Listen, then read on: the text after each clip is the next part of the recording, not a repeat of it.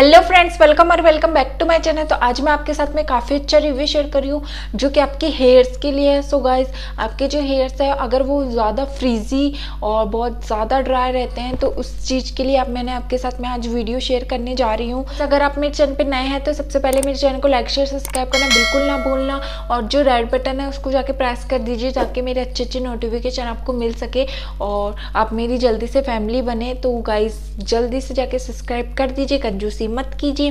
सो so guys चलिए हम video start करते हैं। तो गाइज़ आज मैं आपके साथ में शेयर कर रही हूँ सीरम का रिव्यू सो गाइज़ ये मैंने आपके साथ, में पहले भी शेयर किया था। आज मैं इस वीडियो में आपके साथ में पूरी डिटेलिंग शेयर करूँगी।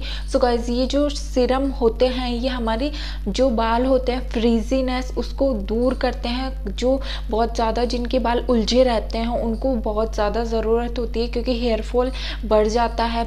जो जिनके बाल बहुत ज़्यादा फ्रीजी रहते हैं, उनके बालों में हेयर फॉल बहुत ज़्यादा हो जाता है। तो इसलिए आपको जब भी आप शैम्पू करते हैं बाद में आपको सीरम अप्लाई करना होता है। सो गाइस आप मेरे चैनल पर नए हैं तो मेरे चैनल को लाइक शेयर सब्सक्राइब कर दीजिए। वीडियो तो, तो आज मैं जिस सीरम के बारे में बात कर रही हूँ सो गाइस आपने ये देखा ही होगा। ये लिवॉन का सीरम है काफ़ी अच्छा है। इसमें अब ब्लू वाला भी आने लग गया है। पहले तो ये पिंक वाला ही आता था और पहले इसकी जो बोतल थी वो भी अलग आती थी। वो बोतल भी आपको मिल जाएगी। वो सिर्फ़ आपको डायरेक्ट अप्लाई कर सकते हो पर ये जो है ये पंप वाली बोतल है तो आपको ये पिंक दिख रहा होगा।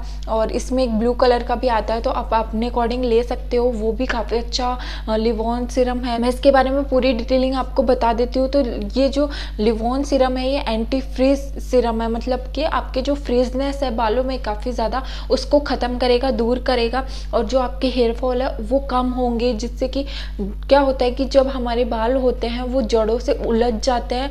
तो एक बाल क्या है कि टूटता है तो उसके साथ साथ क्या है कि दूसरा बाल भी निकल जाता है। ऐसे करते करते काफ़ी सारे बाल एकदम से निकल के आ जाते हैं तो वो हेयर फॉल बहुत ज़्यादा हो जाता है। और जब हम हमारे बालों में सीरम अप्लाई करके रखते हैं तो वो क्या है कि अच्छे से सॉफ्ट हो जाते हैं, काफ़ी ज़्यादा हम हमारे हेयर पे सीरम अप्लाई करेंगे तो उससे क्या है कि हम जब बाल में कोमिंग करेंगे तो कोमिंग करने से क्या है कि हमारा जो हेयर फॉल है, वो कम होगा, क्योंकि हमारे जो बाल है, वो काफ़ी ज़्यादा सॉफ्ट हुए रहेंगे, क्योंकि फ्रीजे बालों में बहुत ज़्यादा हेयर फॉल होता है। तो इसलिए आप हेयर सीरम ज़रूर अप्लाई किया करें। हेयर वॉश करने के बाद जब भी आप हेयर वॉश करते हो, उसके बाद में आपको हेयर सीरम अप्लाई करना होता है। तो आप अगर आपका बहुत ज़्यादा हेयर फॉल हो रहा है, बहुत ज़्यादा फ्रिजनेस है तो आप इसको अप्लाई करके देखिए। आपका जो हेयर फॉल है, वो काफ़ी फिफ्टी परसेंट कम हो जाएगा। मैं ऐसे नहीं बोल रही कि पूरा हंड्रेड परसेंट कम हो जाएगा। फिफ्टी परसेंट जो हेयर फॉल है, वो कम हो जाएगा। क्योंकि ये क्या होता है कि फ्रिजनेस से जो बाल है, वो एक के साथ एक निकलते जाते हैं और हेयर फॉल बढ़ता जाता है। तो इसलिए आपके जब बा, बाल में सॉफ्टनेस रहेगी तो आपके बाल कम झड़ेंगे कम हेयर फॉल होगा। तो इसलिए आप सिरम अप्लाई कीजिए। ऐसे सिरम के बारे में बता देती हूँ। जो ये सिरम है ये पंप वाली बोतल में आता है। आपको सिंपल बोतल में भी मिल जाएगा। सो गाइज़ ये जो सिरम है इसकी जो प्राइस है वन फिफ्टी रुपीज़ है, डेढ़ सौ रुपये का आपको मिल जाएगा और इसकी जो शेल्फ लाइफ है, वो तीन साल की तीन साल तक ये आपके एक्सपायर होगा। तीन साल से पहले पहले आप इसको यूज़ कर लोगे। सो गाइस आपको इसको क्या करना होता है? आपको इसको ऑयल की तरह अप्लाई नहीं करना होता। ये ऑयल नहीं है। आपको जब भी आप हेयर वॉश करके आते हैं, उसके बाद में आपको क्या करना होता है?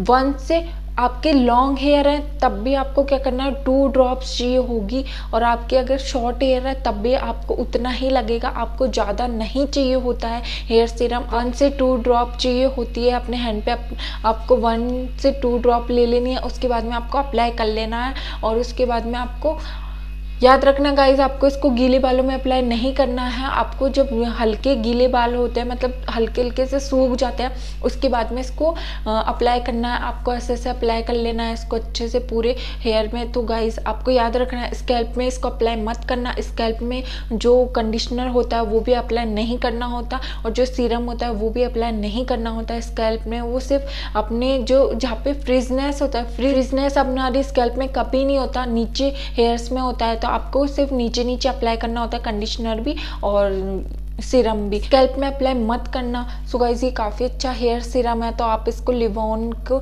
यूज़ करके देखिए। सो गाइज़ ये जो सिरम है, ये काफ़ी लोग यूज़ करते हैं। काफ़ी एक्सपर्ट इसको यूज़ करते हैं। काफ़ी अच्छा सीरम है, इसको यूज़ करके देखिए। और ये बजट फ्रेंडली भी है, आपके बजट के अंदर ये आ जाएगा अच्छे से। इसकी जो फ्रेगरेंस है, वो भी काफ़ी अच्छी है। मुझे काफ़ी पसंद है इसकी स्मेल तो आप इसको ट्राई करके ज़रूर देखिए एक बार। तो आप, मैं इसको अप्लाई करके आपको दिखा देती हूँ। तो गाइज़ आज मैंने हेयर वॉश किया है तो गाइज़ आप देख सकते हैं कि मेरे जो हेयर्स है वो काफ़ी फ्रीजी हो रखे हैं काफ़ी ज़्यादा। तो मैंने आप अभी अप्लाई नहीं किया है इसको क्योंकि मेरे को वीडियो बनाना था तो मुझे आपको दिखाना था इसको टू ड्रॉप ले लेना है वन टू तो मैं आपको पास से दिखा देती हूँ अगर आपको दिख रहा है। सो सो फ्रेंड्स मैंने इसको अप्लाई कर लिया है अपने हेयर्स पे तो मुझे काफ़ी अच्छी इसकी फ्रेगरेंस लगती है मुझे काफ़ी ज़्यादा पसंद है। लिबोन हेयर सिरम की जो फ्रेगरेंस है काफ़ी अच्छी और इससे जो हेयर्स हैं, उनमें आप इसको लगाने के बाद कोम करेंगे तो काफ़ी आपको जल्दी से कोम हो जाएगा। आपका जो कोम है, वो अटकेगा नहीं। आपके जो फ्रीजनेस है, वो दूर हो जाएगी। काफ़ी अच्छा है, डेढ़ सौ रुपये की बोतल आपके काफ़ी टाइम तक चल जाएगी तो आप इसको ट्राई करके देख सकते हैं। हेयर सीरम होते हैं, ये आपके जो हेयर्स होते हैं, उनको प्रोटेक्ट करके रखते हैं, इन पर एक कोटिंग कर देते हैं। उलझे नहीं, उल, उलझेंगे तो वो टूटेंगे ज़्यादा और जब उलझेंगे नहीं तो वो टूटेंगे भी नहीं और हेयर फॉल भी कम होगा। तो और आपके जो हेयर्स हैं, उनमें काफ़ी अच्छी स्मेल आएगी, काफ़ी आपको खुद को अच्छा फील होगा कि जैसे कितनी अच्छी फ्रेगरेंस है। तो आप हेयर सीरम अप्लाई कीजिए। ये बिल्कुल भी आपके बालों को चिपचिपा नहीं बनाएगा। बिल्कुल भी जैसे आप हेयर वॉश करके आते हैं, जैसे ही करता है कोई कोई ऑयलिंग नहीं करता है तो आपके बालों को बिल्कुल भी चिपचिपा नहीं बनाएगा, आपको काफ़ी अच्छा लगेगा तो आप इसको ट्राई करके ज़रूर देखिए, मुझे काफ़ी ज़्यादा पसंद है। मैं ऑयलिंग नहीं करती हूँ हेयर वॉश करने के बाद मैं हेयर वॉश करने से एक दो घंटे पहले ऑयलिंग करती हूँ, उसके बाद में मैं सीरम अप्लाई करती हूँ। सीरम से बाल है, वो चिपचिपे नहीं होते हैं, काफ़ी अच्छे सॉफ्ट हो जाते हैं, एकदम मैनेजेबल हो जाते हैं। इसको इजीली कोई भी हेयर स्टाइल में, कुछ भी हेयर स्टाइल बना रहे हो तो आप इसको एक बार लगा के देखिए हेयर सीरम को तो काफ़ी अच्छा आपको लुक भी लगेगा, काफ़ी अच्छी आपकी हेयर स्टाइल बन जाएगी और सिल्की सॉफ्ट मैनेजेबल बाल लगेंगे। तो आप इसको ट्राई ज़रूर करके देखिए। सो गाइज़ अगर आपको मेरे चैनल का वीडियो अच्छा लगे तो इसे लाइक शेयर सब्सक्राइब करना बिल्कुल ना बोला अब हम मिलते हैं नेक्स्ट वीडियो में, तब तक के लिए बाय थैंक यू